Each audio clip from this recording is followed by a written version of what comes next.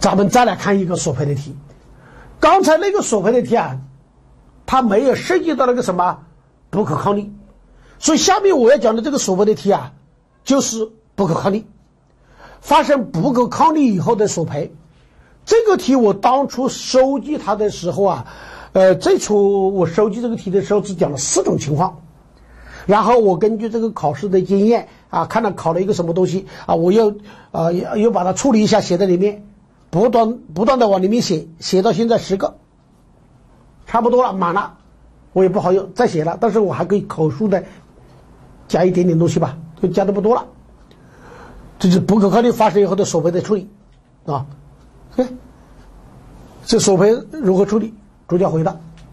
好，对于这个不可抗力发生以后的索赔的处理，我等于我现在。口述把这些要交代完的交代清楚以后，自然就实现索赔的问题就给你解决了。对于不可抗力发生以后的索赔，我们首先要掌握一个大的原则，叫什么？我用一句很俗的口语，用一句最俗的土话来说的话，叫啥？谁家的孩子自己抱回去？这是最俗最俗的一句话了吧？谁家的孩子自己抱回去？比如说，由于不可抗力，施工单位的机械设备受损了，自己花钱维修；由于不可抗力，健身房的人员受伤了，自己花钱医治，这就叫做谁家的孩子自己抱回去。这是总原则。有了这个总原则以后，能不能解决这些索赔的问题呢？我们出考题的话，总是一些不太好处理的问题，所以下面就要给大家交代这些不太好处理的索赔的问题。第一个问题就是什么？已建工程，已建工程受损情况。这个已建工程呢，其实涉及到四种小情况，哪四种呢？你看啊，这已建工程经过了中间验收，没有经过中间验收，两大种吧。经过了中间验收，他出的报告合格的，或者是不合格的两小种。没有经过中间验收，可能是合格的，可能是不合格的，是不是四种？对吧？对于这四种情况，我告诉大家，由施工单位买单的只有一种，那你就知道是哪一种了。由施工单位负责维修的只有一种，哪一种？已经经过中间验收，而且出的报告都是不合格的，只有这种情况下，由于不可抗力受损，施工单位买单，这是应该的嘛，是吧？我举个通俗的例子啊，比如说我修路、修铁路、修公路那个路基，路基的话是一层一层验收的，好，我这一层去验收不合格，正在出报告等报告的这几天来了洪水，把这个不合格的这段冲垮了。那说句实话，没来洪水的话，你应该怎么办？挖掉，重新再去做。现在洪水还帮了你的忙呢，反正你是要返工的，是不是？只有这种情况，施工单位买单。另外三种情况都由建设单位买单。无论是什么，你看，呃，这个什么，包括那个没有验收的，可能是不合格的，也应该按照合格标准赔给施工单位。听清楚了，那这样做的话，施工方是不是赚了？本来是个不合格的，因为不可抗力，呃，损坏了，结果还按合格标准赔给这个承包商，好像是赚了，但是他这是他该赚的，是吧？因为施工单位无意去专门做那个不合格的，等着来洪水，他如果不来洪水呢，是吧？这是第一个问题啊，已建工程。第二个。是什么？就是关于机械设备啊，关于机械设备。那么咱们施工现场的机械设备啊，严格来说的话有两类，一类叫施工机械，一类叫做建筑设备。呃，怎么说呢？一句话可以概括：凡是施工单位在这个项目做完能够拉走的。都叫做施工机械，那就多了，塔吊啊、推土机啊、电焊机啊，还有那个什么项目经理部办公室那台空调都算，因为这个项目做完了，他最后要移机啊，是不是啊？这个我们都叫做施工机械。哎，我们前面讲了呢，谁家的孩子自己抱回去啊？施工机械受损了，施工单位自己负责维修。另外一类叫做建筑设备，咱们房屋建筑里面这个是最常见的。你看，房屋建筑里面最常见的建筑设备是什么？比如说我们的中央空调、永久电梯，我们的电梯房那不是永久电梯吗？那么这个中央空调、永久电梯这些建筑设备，无论是施工单位购买还是建设单位购买，当然我们说讨论索赔肯定是讨论施工单位购买的是吧？施工单位为本项目购买的建筑设备，由于不可抗力损坏了，要由建设单位买单，由建设单位来负责赔偿。理由是什么？因为这是你建设方的孩子，我专门给你买的，我不带走的。这是建筑设备，由建设方、业主方买单。好。有这个问题呢，马上就推演出另外一个问题：原材料。那咱们建筑工地的原材料是不可少的，最最多的钢筋、水泥、砂石，是吧？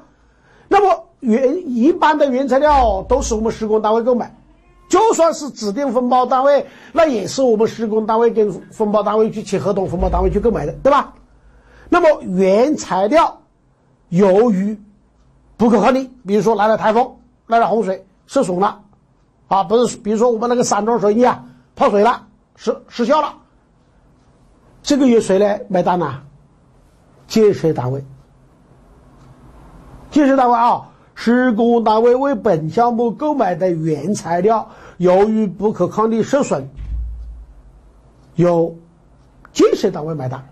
呃，我昨天在那个呃我的那个大 QQ 群里面有个学员就问我，呃，他说那施工单位买的东西，如果监监理方没有亲自确认的，如果不可抗力受损，那甲方也不赔啊，你就不要去钻这个空子了。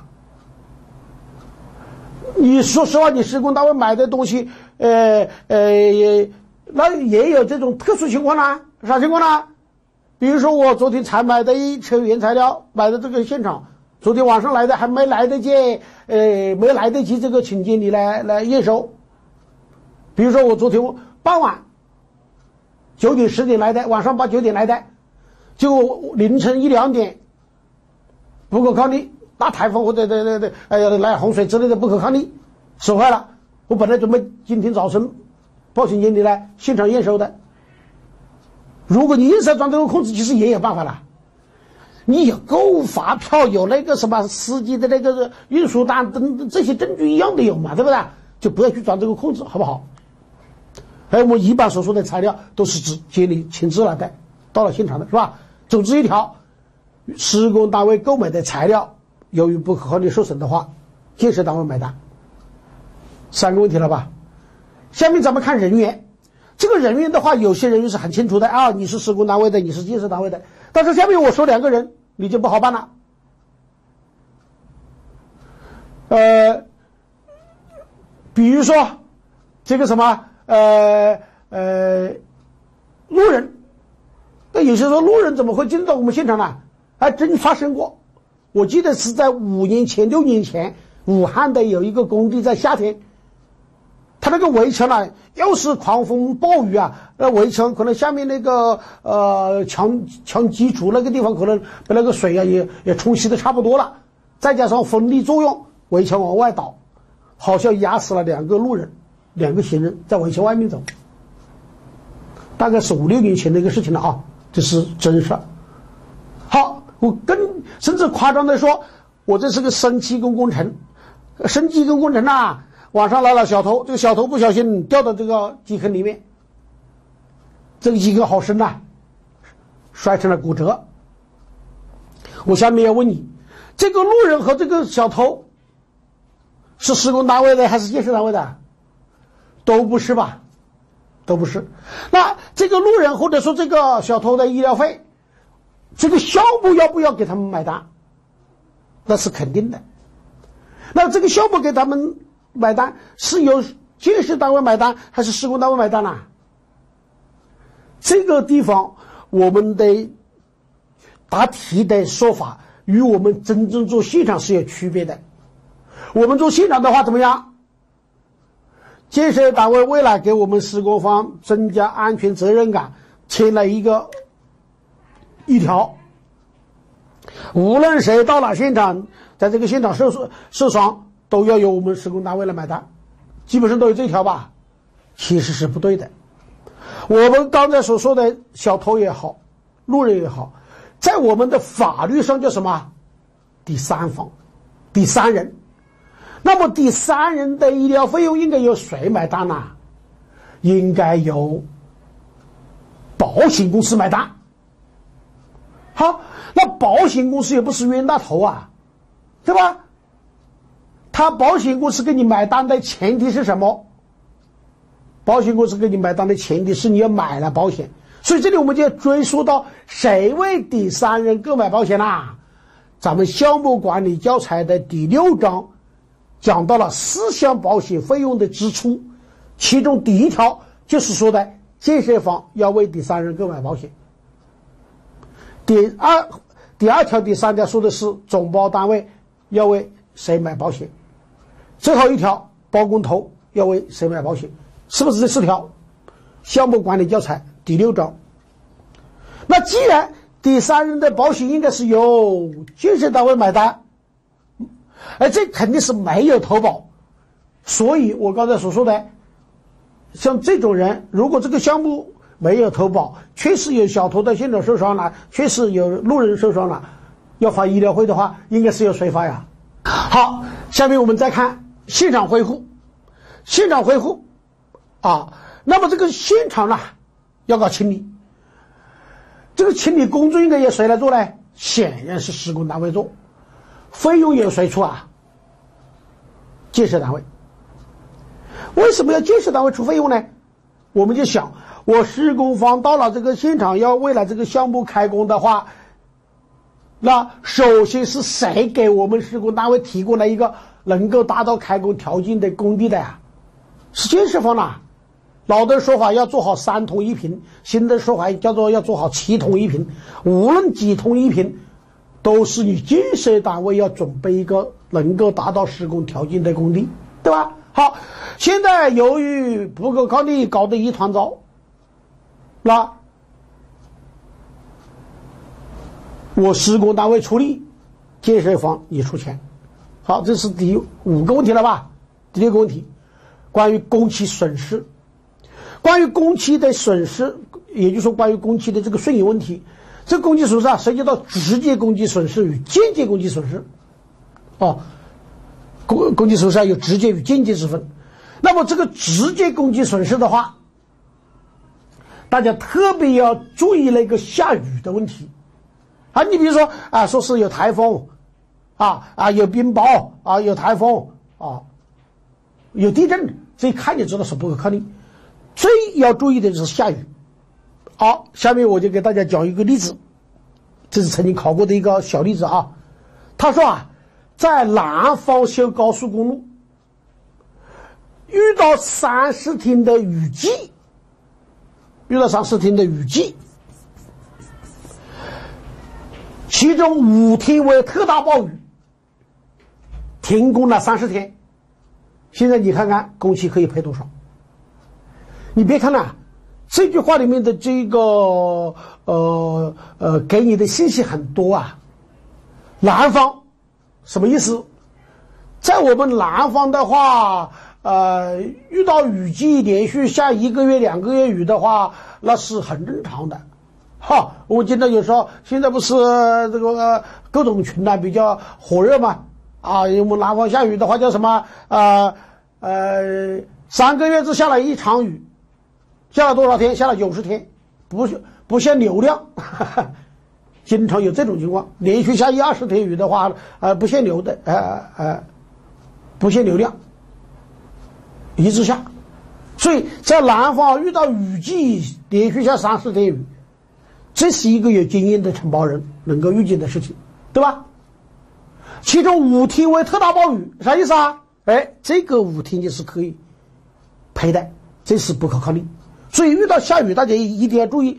呃，他说大雨都不行了啊，要说特大暴雨、罕见的大雨、多少年不遇的大雨，这样写的话就表示是不可抗力的。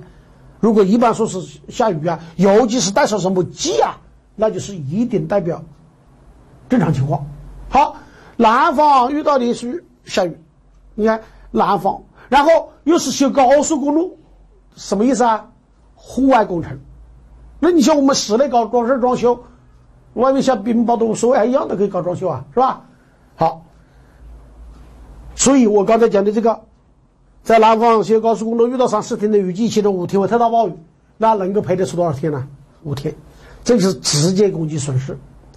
间接攻击损失，风雨过后或者暴雨过后。后面还有说法，那我把曾经考过的小片段口述出来，也就是这里面的。好，我说啊，南方连续下了五天特大暴雨，暴雨一过，你看我们这个呃基坑里面就泡水了。比如说我一个开挖深度负八米的深基坑，全是水。好，施工方要组织排水啊，你把水排干才能够继续工作啊。好。我说排水排了三天才把水抽干，这三天是不能施工的，这三天的工期损失由谁来承担呢？建设方，因为施工单位没有考虑到有这么大的雨下来，这么多水进来，对不对？对不对？这个间接工期损失应该由建设方买单。好，我顺便说一下，排水费花了两万块钱，谁出啊？仍然是建设单位，对吧？施工单位没有办法预见到有这么大的雨啊，有这么多水进来，对吧？好，我继续往下说，把这个深基坑的水一排干了，发现施工单位有一台挖机陷在那个泥潭里面，于是啊，用吊机吊这个挖机。好，下面我的问题来了，那个吊机的两千块钱台板费谁出？吊机的两千块钱，他不会谁谁出啊？那我就要问你，谁把那个吊机请过来的啊？施工单位请过来的嘛？那施工单位你把吊机请过来，那你花钱呗。所以吊机的台板费施工单位出。好，我把挖机起吊上来，维修起吊加维修一起，这里又花了一天，没办法施工。这个间接工期损失这一天。谁承担？谁承担啦？施工单位。为什么？我作为建设单位来讲的话，谁要你那个挖机不放在保险柜里面呢？啊，当然放不进去 啊。也就是说，你是施工单位，你那个挖机放的不是地方嘛。所以，这个由于挖机泡水要修挖机，单位一天工期的话，这是由施工单位来负责。好，修挖机修了一千块钱，谁出啊？施工单位。谁家的孩子啊？这个挖机是谁家的孩子啊？施工单位的孩子。你看，我把这些个问题都一讲完的话，这个题基本上就全部讲完了。唯有拿下一个地方，要给大家学一学示范文本的一个条文。对，关于误工费的问题，就是由于不可抗力发生以后的这个误工费的问题。我现在带大家一起来学新的示范，所谓新就是现在正在用的、正在用的示范文本的幺七点三点二的第四款。这个示范文本的原文是怎么说的呢？不过它大标题就是不可抗力发生，是吧？不可抗力发生以后，他说啊，停工的费用损失由发包人和承包人合理分担，停工期间必须支付的工人工资由发包人承担。哎，我就模拟的想象一下。不可抗力，连续下特大暴雨，哎，连续下特大暴雨的这几天，食堂的炊事员是不是一样在做饭呢？我们那个现场维持安保的人员甚至还要增加，是吧？加强巡视，加强巡逻，是吧？这些人员的工资由谁承担呢？发包人承担，这是白纸黑字嘛？这是后面这一句。好，前面这句。停工的费用损失由发包人和承包人合理分担。什么叫合理分担？因为我们所采纳的官方的文件材料的话，示范文本已经是最低的一个了，是吧？你们学法规学过啊？最高级的就是宪法，是吧？然后是什么法什么法，一直下来，部门规定规规规章，最终最底下就示范文本，再往下走的话就是我们的教材了。教材就是根据示范文本、根据法律法规、根据条文来编的嘛，对不对？好，最低档的示范文本都只说这么一句话，就没有进一步的解读了，对吧？好，那我帮你理解吧。停工的费用损失由发包人和承包人合理分担。什么叫合理分担？我举个例子，连续下特大暴雨，施工单位有一百名工人呐，不能上班；建设方也有十名工人不能上班。是不是叫合理分担呢？是不是啊？加在一起一百亿，每一方出五十五个啊啊，出五十五人的这个啊误工费啊？肯定不是。是不是叫合理分担？你负责你的，我负责我的，这才叫合理分担，啥意思？我带大家学这个示范文这一条的最终的落脚点是什么？由于不可抗力导致施工单位的工人误工，这个误工费能不能赔啊？不能赔。最终的落脚点在这里啊！由于不可抗力导致的施工单位的人员的误工费是不能赔的。但是如果是由于建设单位修改设计使得你误工了，那当然这个就能赔，对吧？我们说的是不可抗力。好，那这样把这个例题到这里就讲完了。那也就是说，我们把讲了两个最经典的索赔的题。如果你把我这两个索赔的题全部都明白了的话，说句实话，我们去考察最近这些年无论多少年代与索赔有关的题，都是非常简单的题，非常简单，可以说都在我这两个题的范围之内。好看下面。第五个问题，成本管理。那么关于施工成本管理的话，第一个施工成本的构成，施工成本的种类。呃，他说啊，按照成本控制的不同标准划分的话，分为目标成本、计划成本、标准成本、定额成本。按照施施工项目成本费用的目标划分呢，又分为什么？呃，生产成本、质量成本、工期成本、不可预见成本。对，这是按照成本控制的不同标准，这是按照施工项目成本费用来划分，两个画风不一样啊。像这种呢，适合出多选题，当然也可以出一个小简答题。成本核算，这个成本核算呢，呃，我直接把我们最喜欢出考题的两种几个成本的计算写出来。而且我还注意到一个问题，在我们的一级建造师考试里面，喜相对喜欢考造价计算；在二级里面呢，喜欢考成本计算。所以我就把这几种成本都写在一起来。什么叫直接成本？或者说直接成本、间接成本、制造成本、完全成本分别由哪些来构成？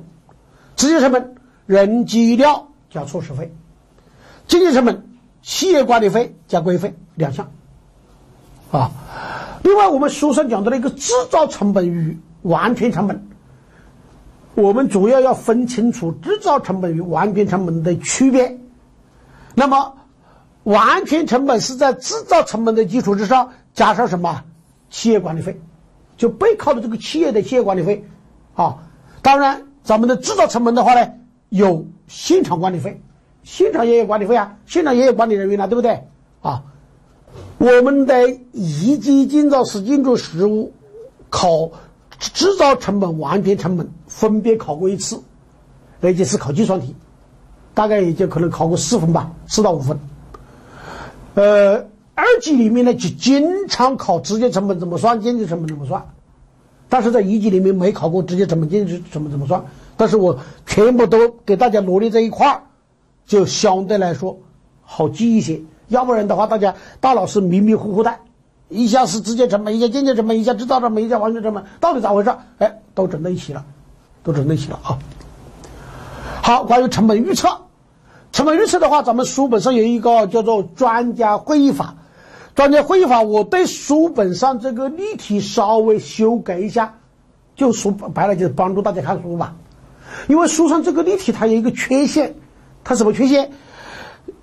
三种价格的预测的人数都是标准的三人，实际上没必要标准的三人。我就是修改这个呢。你看，我搞了一个三人的，搞了个五人的，搞了个两人的。说白了，这个就是典型的什么？加权平均，加权平均呐，对，三人的乘这个数，五人的乘这个数，啊，两人的乘这个数，这种是十个人，哎，就把书书上这个例题稍微把那个人数给你处理了一下，帮助大家处理了这一项，没有别的意思哦。好，成本目标编制依据，哎，我前面给大家在说依据的时候，我说了。只有两个，要大家大家一定要记得依据类的问题，不能按照一锅端。而且这两个依据我都给大家编了口诀，是不是？单位工程，呃呃，单位工程进度计划的编制依据是吧？另外一个呢，施工成本目标的编制依据，这个你不能再按那个一锅端，一锅端的话端进来的话也解决不了问题。只有我我们要求大家背的依据类的有两个不能按一锅端的都有口诀。好，这个口诀你看我是怎么编的呢？按量定合同目标，按方案方法，按量定合同目标。当然这个地方最不好猜出来的就是目标。嗯，对，目标责任书下面这个是什么？控制指标。目标本来就是一个词，结果要分开。目是目标的目标，目标的目标，指标的标，哈。按量定合同目标，这个口诀也是我一九年十一、十二月编的新口诀啊。我的以前的课件里面是没有这个目口诀的。好，施工成本控制，呃，这里面有一个成本管理。包括哪些工作啊？确定成本目标，进行成本预测，编制成本计划，实施成本控制，开展成本核算，做好成本分析，编制成成本报表。啊，这个咱们项目管理上面也有。下面一个施工期间成本控制的内容，这个问题，呃，我没有编口诀，因为太长了。再说了，我也不能说也编出这么多，我这编口诀也有个过程，是吧？施工期间成本控制的内容，这个是有一定的现实意义的，就看上去有一定的现实意义的。那么施工期间，我们那个工地上项目上面成本控制的内容包括哪些啊？你看，来，呃，加强施工任务单和限额领料单的管理，啊，任务单、限额领料单的管理，啊，计算成本。分分部分项工程成本的差异，分析差异原因，分析月度预算成本与实际成本的差异，啊，然后呢，实行责任成本核算，啊，检查对外经济合同的履约情况，还有呢，是什么？呃，定期检查各责任部门和责任者的成本控制情况。这个六条的话，如果实在要作为一种问答题。在我们的真题里面来问的话，也是完全可以的。好看下面，呃，按照管理程序分的话，呃，按管理程序分的控制过程的话，哎，其实这个都是重复的啊，是吧？什么成本预测、成本计划、成本控制、成本核算、成本分析、成本考核，这几个词组在我们的二级里面挑出来作为问答题考过好多次。我记得最集中的三年，四年里面考三次，而且都是问答题，中间只隔了一年，啊，四连续四年里面考三次这个东西，大概对应一一年、一二年的几年吧。呃，现在考的少了，这这些词大家都是很熟悉的，我们不多说了啊。然后呢，价值工程，关于价值工程的话，哎，又是一个相对冷门的问题。这个问题第一次在我们一级建造师考试里面考的是哪一年呢？零七年。零七年考了以后啊，大概这中间就隔了很多年了，是吧？零八年都未考嘛。大概我的课件里面应该是在一三年左右、一二年左右就一直有这个题，一直有这个题。结果呢，在一七还是一八年吧，一八年就考了我这个，就考了我这个，而且那次考的还没这个难，所以因为这个书上没有这么细的例题啊，书上没有这么细的例题。一八年吧，好像是啊，一八年在二级里面考完以后，在一级里面又考，考了这个价值工程。同样的考下来，很多学员都非常佩服我李老师的课件。啊，李老师就你的课件里面有那个例题。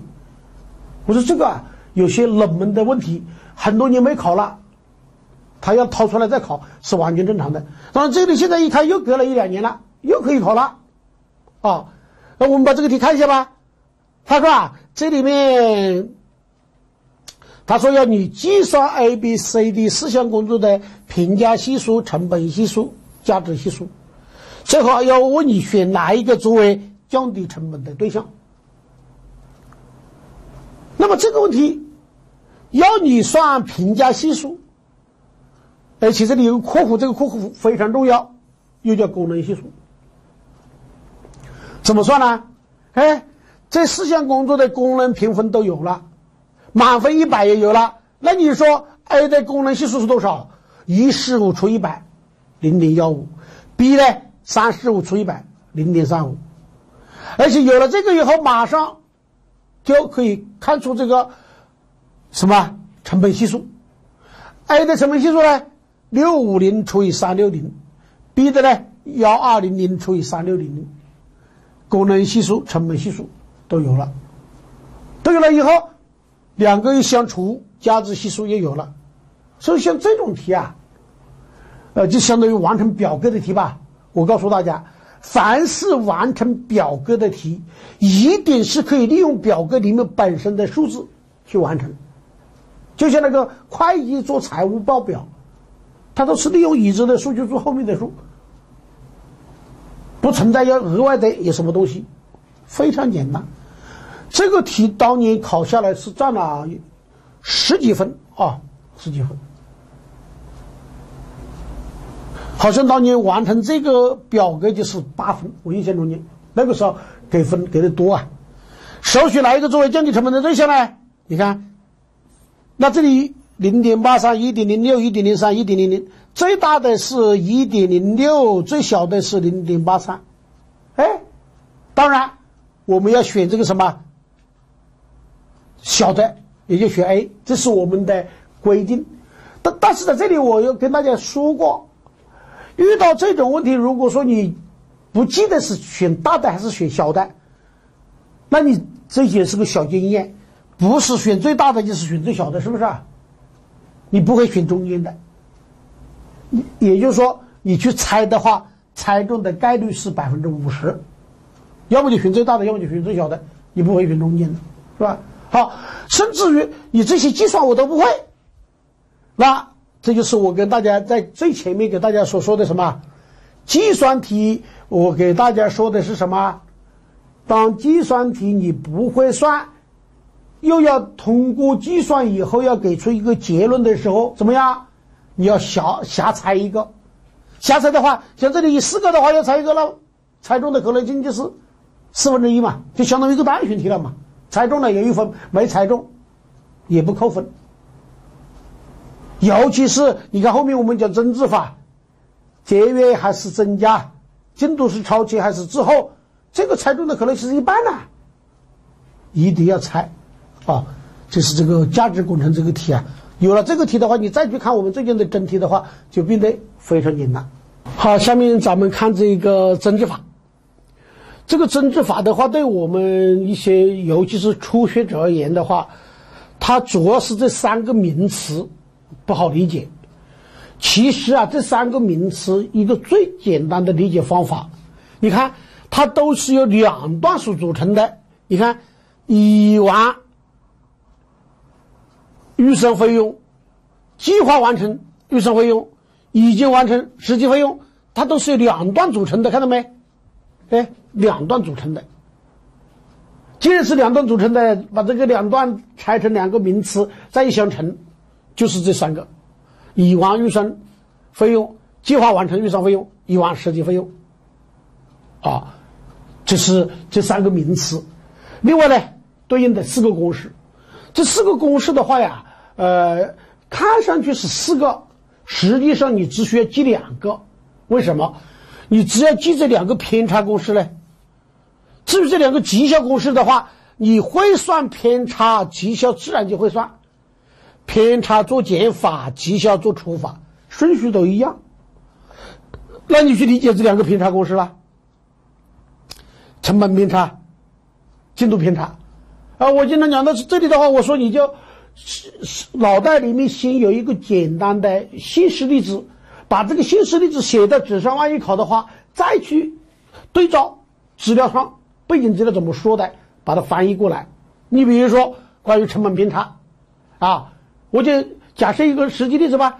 比如说有你去盖你现在住的这栋楼，啊，不管你现在是在呃办公楼还是住宅楼，好，比如说这一栋住宅楼，你做项目经理要你去负责，给你要你把它盖成，假设是一千万吧，假设一千万，好不好？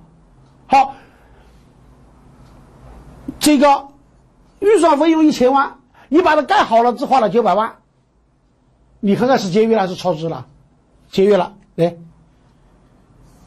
预算费用一千万，你盖完以后实际费用九百万，那不是节约了吗？好，再看看这个进度偏差，比如说你当时在盖这栋这栋楼的，截止到呃那一年的十月一号，计划要做五百万。结果呢？你做了六百万，来，计划要完成五百万，结果你已经完成了六百万，那你说你是超前了还是落后了？超前了。哎，如果你对这两个偏差公式记不住，你把我刚才说的这个小例子先把它写在纸上，套，再去套，反过来记这公式。记住了两个偏差偏差公式以后，两个绩效公式。我说了，偏差做减法，绩效做除法，马上就出来。哎，这是一八年的我们管理上的一个真题，就是那个呃管理啊，因为管理它是它的题型就限制了最多一个题就两分儿多选题，单选题一分，多选题两分，是不是？你看这个题啊，就是一个典型的要利用这个什么呃这个增值法来进行计算的一个题呢。最后。当然，我这个计算我就不不算了，来算给大家看啊。像这种计算，我在这里作为讲课来讲，那就实在没必要。当然，这个题很遗憾，在管理上面它只有两分但是同样这么一个题，如果它拿到我们实务里面考，有多少分呢？我告诉你啊，拿在实务里面考，第一次考这个偏差公呃增值法，就是我们第一次的一级建造师考试，也就是零四年吧。二十分，然后到后面一次考的话，就到了零九年，那就降价了，只有十分。他这也是一个小众的一个呃问题，呃，在管理上面就考两分，但是在我们实务里面，现在如果再拿来考的话，那不可能还有二十分，十分都没有了，估计就是六分左右，六分左右。但是呢，我想这个，呃，我这么一解释的话，应该其实非常的清楚了。就大家呃，经常有人说：“哎呀，我现在呃，这复习应该也怎么复习？该背的背，该理解的理解。像这些地方就是要去理解了，这不是靠死背能够解决问题的，背不住的啊。”再看下面，呃，成本分析与考核，呃，成本分析与考核的话，他说施工成本分析啊，呃，有两类八种，两类，第一类基本分析方法，第二类综合分析法。基本分析方法里面又分为四种：比较法、因素分析法、差额分析法、比例法。综合分析法呢，有分不分项成本分析、月季度成本分析、年度成本分析、竣工成本分析。这把它作为问答题考基本分析法或者综合分析法分分别对应的这四个四分考过的啊，考过的。而且我又注意到，我们书本一八以后的教材啊，就把管理上面那个因素分析法的那个小例子抄到我们的实物里面来了。那既然能够把管理上那个实物例子抄到咱们实实物书上，那随时可以再考。没考过，因为实物里面从来没考过这个因素分析法。但是我想的话，迟早会考。我说的啊，迟早会考。现在已经写到咱咱们书上已经两年了，两年没考，一八年没考，一九年没考，二零年是否会考，我不知道，反正迟早会考。就像我我说的有些呃东西，你像那个切分心法，之前很多年没考，哎，后面就考了。啊，还有价值工程，零七年考了以后，好多年没考，后来又考。所以这个，既然他有意的把它拿到咱们实物书上，因为你想那个出题的他也痛苦啊，考来考去这些东西啊，哎，考一个新的吧，正好书上这个点以前没考过。那么对于因素分析法的话呢，这里面主要是要，它又叫什么东西啊？又叫做连环替代法。那么这个连环替代法的话，首先你要注意最核心的是什么？咱们连环替代法的计算的话，先算什么，再算什么，最后算什么？来，先替代工程量，再替代价值量，先量后价，你这样记吧。先量后价，来，这是书上这个例题呢。说这个例题啊，好，这里有个目标成本、实际成本啊，然后呢，呃，你看，呃，他说啊，呃，这里面什么，呃，产量有变化，单价有变化，损耗率有变化，那就先量后价再其他，先把量替代，你看第一次替代，对，先量后价，第一次替代。把五五百二十的量替代五百的量，算出这个差来。第二次替代用这个单价的七百二替代七百，第二次替代，第三次替代损耗率一点零二五替代一点零四，然后分别算出这三次替代的差，求出这三次替代的差哪一个最大，哪一个最大，哪一个最大就说明哪一个因素因素影响因素。最敏感，哪一个影响因素最敏感？这种题非常简单，但是非常要提醒大家注意的是，你一定课后要去算一遍，对吧？算一遍就清清楚楚了。啊，这种问题你看，一旦要考的话，很有可能就七分。为什么呢？先分别是算这个，每算一个一分，三分；算差值算出来，每算一个一分又三分，最后。得出结论来一分，很有可能就七分。这么一个东西，你看非常简单。万一考了，你如果掌握了这个，那七分就到手了。啊，当然了，也有可能是四分。前面的计算每一个零点五，这个结论一分四分。但是说这种计算才给一分的话，似乎有太……呃，这个这这种计算每一个给零点五的话，似乎也给的太少了一点，是吧？那也就是四到七分之间，很有可能是七分。这么简单的问题，如果要考了，我这里这么强调，你到时候如果没考出来，我说的是万一啊，又考了又没考出来，那你到时候后悔，那你就真的是只有后悔了。因为很多学员这种的成绩没过的一些学员，就差那么一两分那你这个地方一下就是上了六七分，碾压多少人呢？是吧？所以呢。不该丢的分就一定不要丢啊！看下面企业的项目部的考核内容，这个曾经作为一个呃问答题考过。企业就是你备考的施工企业，对你这个项目部的成成本考核的内容，考核哪些东西啊？这五这六条吧，啊，呃，我不念了，这也没什么意思，自己背吧。这样的话呢，就是我们这个。专题的第二个板块知识点的复习到这里。当然，你看我们讲所谓的话，那都是以真正的例题来讲的。然后呢，这里也给大家讲几个题吧。啊，就是进入第三个板块了，本案例的呃本本板块的这个啊本专题的案例分析。呃，我们来看第一个案例题的第一问：工程量清单计价具有哪些特点？这个是与背景资料几乎没关系的一个问答题，也就是我之前给大家说的，我们的问题与背景资料是无相关的。工程量清单计价的特点，哎，就是什么强制性、统一性、完整性、规范性、竞争性、法定性，这个确实曾经也是考过的。好，第二问，本案例是否涉及到违法分包？什么叫违法分包？除了合法的都是违法的。那么什么叫合法的？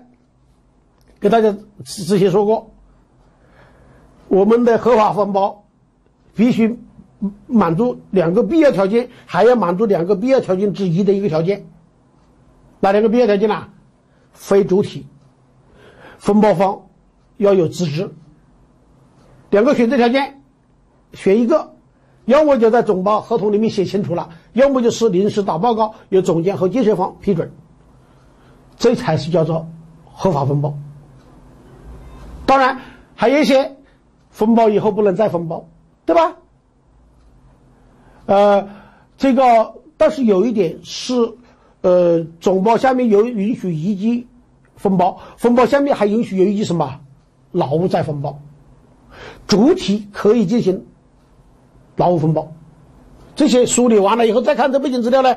他说这里有一个办公楼与 A 总包单位签了合合同，然后呢，这个什么呃，经总监审核，A 单位将装机工程分包给 B 专业技术公司，B 单位将劳务分包又给 C 劳务公司签订了劳务分包合同。这里有没有违法分包啊？没有，是吧？允许总包下面有一级劳务分包。劳务分包下面有有没有分包啊？就没有了啊！劳务不能再分包，正因为劳务不能再分包，所以大家可以看现实中间有个事儿，咱们的监理业务有没有分包这个说法呀？听说过没有？没听说过吧？监理业务没有分包这个说法，我们不要把那个监理看成那么高大上，说白了，监理就是提供劳务输出的，所以他没有分包。往下看，装机施工方案的编制和审批是否正确？说明理由。B 单位，啊啊，看下面，C 单位进场，C 是什么？劳务公司是吧？劳务公司进场以后编制了装基础施工方案，经 B 单位项目经理审批同意以后组织施工。现在问你，这个呃装基处施工方案的编制和审批是否正确？说明理由。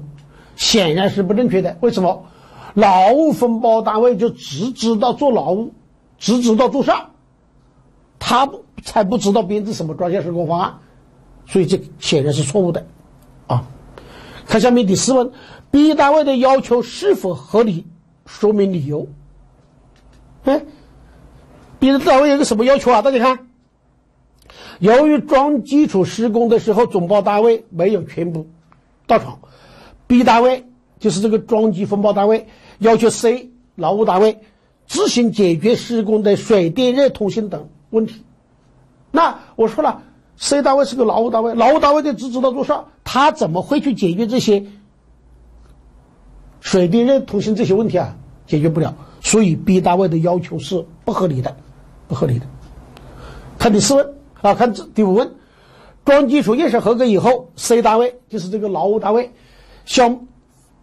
B 单位就是这个装机这个单位，C 单位向劳务单位递交完整的结算资料，要求 B 单位按合同约定支付劳务报酬的尾款。B 单位以 A 单位没有付工程款为由拒绝支付。现在问你，B 单位就是这个分包单位的做法是否正确？说明理由。你还别看了，这个题还真是曾经的真题。我告诉你，除了这个第一问是我加的以外。后面这疑问都是曾经的真题的片段。其实这个地方恰好就是咱们我咱们国家这个什么农民工工资拖欠的一个缩影。农民工工资为什么不能够按时发放？包工头没有给钱，我们不要啊，动不动就说这个包工头拿钱就跑人，找新应用。现在包工头拿钱走人的，当然你说全国这么大，你说这都没有，那也不能这么说，极少极少。说句实话，现在一般的人还真做不了这个包工头。包工头要有人脉，他要带一个队伍来的话，一般都要是什么？呃，都带的是老家的邻居或者是亲戚。这种包工头他能跑吗？他跑到哪去啊？是吧？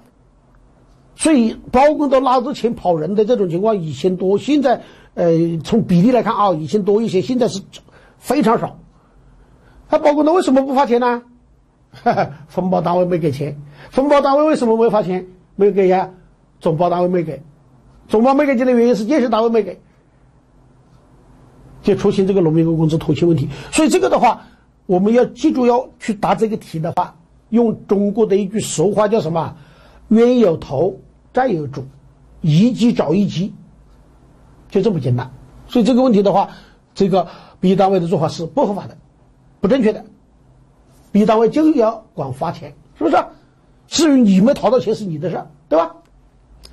这是曾经的一个真题的一个啊片段，然后加了一点点东西进去，这是第一个题啊。再看一个题，呃，这个题是最近的一个真题啊。施工合同中综合单价因工程量变更应该如何调整？施工合同中综合单价因为工程量的变更。应该怎么调整？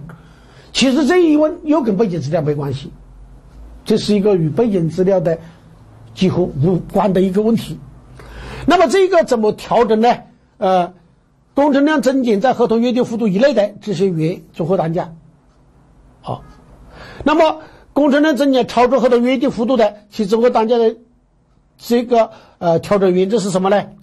超出合同约定幅度的超出部分综合单价要调低。少于的话呢，全部都要予以调高。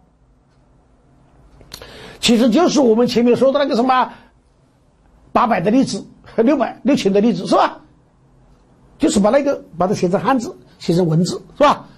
啊，当然综合单价的话，综合单价呢要由发包方、承包人双方按合理成本加利润的原则来协商确定。也就是说，把我们那种计算，还要把它写成文字的形式，是怎么来表达？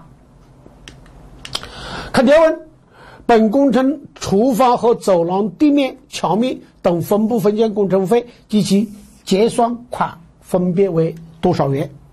好，这里有一个呃，走廊地面和桥面背景资料是这么说的呢。他说啊，这里面有一个学校食堂装修改造项目，采用工程量清单计价。啊，他说啊，这一个合同约定实际完成工程量超过估算工程量百分之十的话，要调整单价，是吧？啊，多做了的话，就是要调到原来的百分之九十。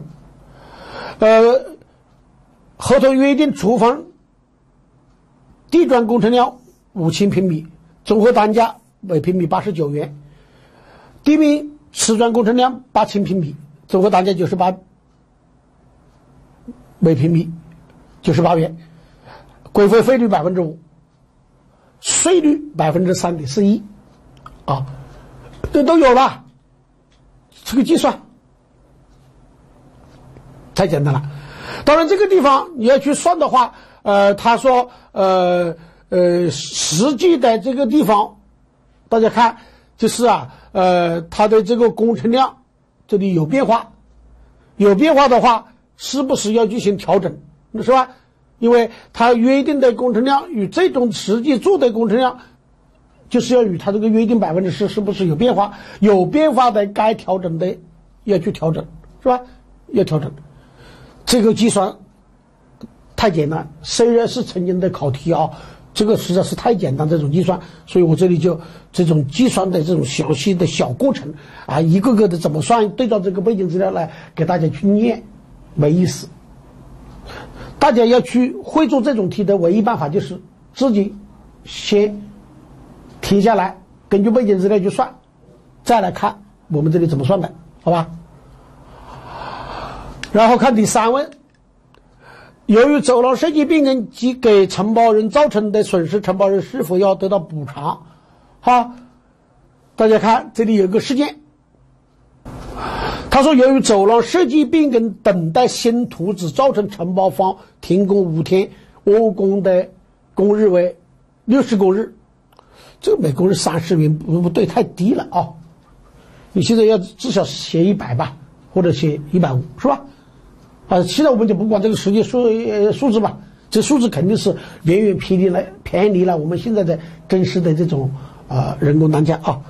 反正就是说，由于设计变更等图纸，使得承包方停工五天，造成窝工。显然，这个设计变更是非承包商原因，所以呢，这个停工的工期要顺延，费用也要赔，是吧？费用也要赔，对。设计变更是建设单位应该承担的责任，是吧？看第四问，承包人关于纸巾价的结算要求是否合理？说明理由。这是个什么东西呢？他说啊，呃，施工图纸中卫生间有不锈钢的纸巾架，但发包人编制的工程量清单没有这个项目，所以啊，承包人投标的时候没有进行报价。施工过程中间，承包人自行采购了纸巾架并进行安装。结算的时候，承包人要求按纸巾架的实际采购价来结算。然后他的问题是：这个纸巾架的结算要求是否合理？说明理由。一定请大家注意这个背景资料啊！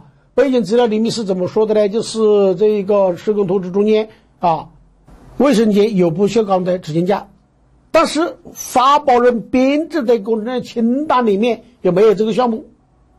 那你清单里没有这个项目，承包人投标的时候就没有跟这个报价。最后施工的时候呢，承包人自行也采购了这个纸巾架进行了安装。结算的时候，承包人要求按照纸巾架的实际采购价格来结算。那么这个问题应该怎么处理呢？就是说，呃，这个第四啊，他是问的是什么？呃。承包人关于纸巾架的结算要求是否合理？说明理由。这个显然是不合理的。为什么呢？就是说，他的这个招标文件里面没有标明这个不锈钢纸巾架，这就是属于什么工程量清单里面的什么漏项。那么你发现有这个漏项的话呢，承包人在施工前应该要向什么监理和建设方提出综合单价。其实也就是说，你在采购之前你就要提出来，你不能说做完以后再要钱，这个其实很好理解，啊，很好理解。最后一问非常简单啊，总包合同管理的原则有哪一些？总包合同管理的原则有哪一些？就是我们前面所说的那个什么啊呃呃，依法履约、诚实信用、全面履行、协调合作啊，维维护权益、动态管理，这个是可以单独抠出来。作为问答题的，这个题啊，我跟你说是早些年，不是最近啊，早些年的一个真题。在我这后面，像这个是后面我加的，加了一点点东西。这样的话呢，我们这一个关于合同与成本管理的整个这一大块，就彻底讲完了。这一大块我这是案例口诀般。我后面真正的给大家讲第三个板块的案例讲的非常少，就两个，而且两个案例题比我前面知识点里面讲的案例题还要呃简单。但是呢，因为我前面在讲知识点的时候讲了很详细的案例，所以呢，这个后面就只有两个简单案例题了啊。总之这一这一个呃专题我们就讲到这里了啊。